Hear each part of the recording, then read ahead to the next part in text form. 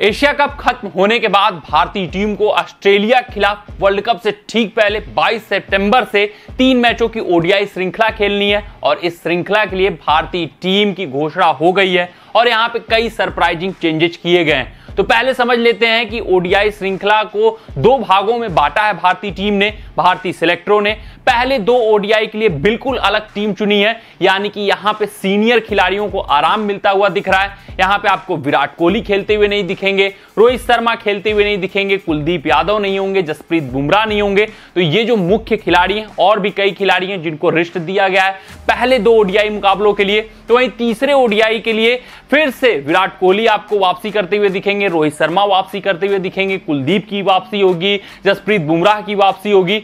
सुमन गिल की वापसी होगी तो ये सारे खिलाड़ी आपको तीसरे ओडीआई में खेलते हुए दिखेंगे।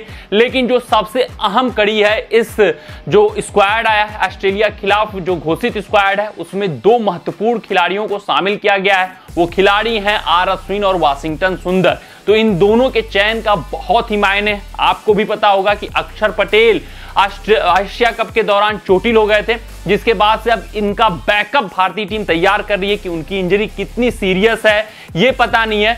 जिस कारण पहले दो ओडीआई में अक्षर पटेल को नहीं चुना गया तीसरे ओडीआई में सब्जेक्ट टू हिज फिटनेस उनको इंक्लूड तो किया गया है, लेकिन अभी भी भारतीय टीम बीसीसीआई ये कंफर्म नहीं है कि कब तक अक्षर पटेल रिकवर कर पाएँगे। तो अक्षर पटेल का जो इंजरी है, वो कॉज ऑफ़ कंसर्न है, जिस कारण आर अश्विन को as a backup allrounder, spin allrounder के तौर पे चुना गया है। वहीं वाशिंगटन सुंदर को भी इस टीम में शामिल किया गया है। तो सबसे पहले हम लोग ओडीआई स्क्वाड पर नज़र डाल लेते हैं।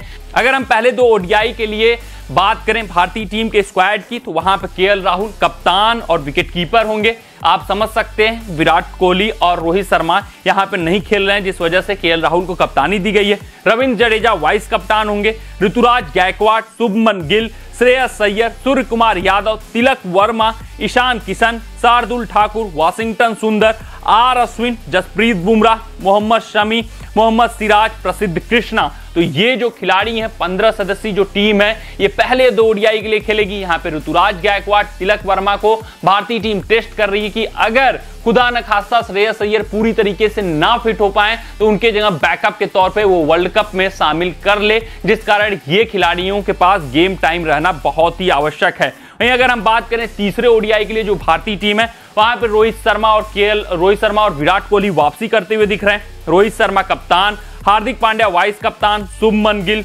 विराट कोहली, श्रेयस अय्यर सूर्य कुमार यादव के Rahul, Ishan Kishan, Ravindra Jadeja, Shardul Thakur, Axar Patel subject to fitness test अगर अक्षर पटेल फिटनेस पास करते हैं, तभी ये तीसरे ओडीआई में इंक्लूड होंगे। नहीं पास करते हैं तो फिर वाशिंगटन सुंदर, कुलदीप यादव, आर अश्विन, जसप्रीत बुमराह, मोहम्मद समीम मोहम्मद सिराज। मतलब ये सत्रह सदस्यीय टीम है। इसमें आर अश्विन और वाशिंगटन सुंदर को भी जगह मिला तीसरे ओडीआई के लिए भी और सिलेक्टरों का मानना है कि पहले से सुंदर बैकअप के तौर पे मौजूद थे, उनके समीकरण में थे, लेकिन आर अश्विन का जो एक्सपीरियंस है, वो उनको काम आ सकता है कभी भी वर्ल्ड कप के दौरान, जिस वजह से यहाँ पे आर अश्विन को वो दो, तीनों मैचों में मौका देते हुए नज़र आ रहे हैं। तो इस स्क्वाड के बहुत ही मायने हैं, जो अक्षर पटेल का शायद इंजरी है, वो सीरियस समझ में आ रही है बीसीसीआई को। हालाँकि वो मौका ज़रूर दे रहे हैं अक्षर पटेल को कि वो रिकवर कर ले जाएँ, जिस कारण तीसरे मैच में उनका नाम ज़रूर शामिल किया गया इस स्क्वाड में, मगर वो भी सब्जेक्ट टू फिटनेस टेस्ट है।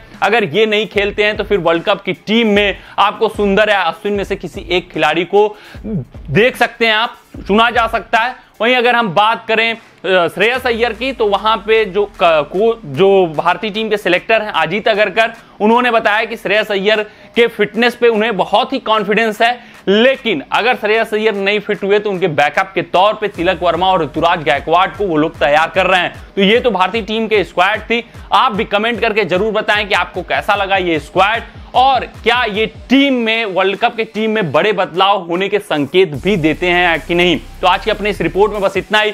आप सभी अपना ध्यान रखें, सुरक्षित रहें, स्वस्थ रहें, मस्त रहें। जय हिंद, जय भारत। अगर ये वीडियो आपको पसंद आया हो तो इसे लाइक और शेयर करें और हमारे चैनल को सब्सक्राइब करना ना भूलें।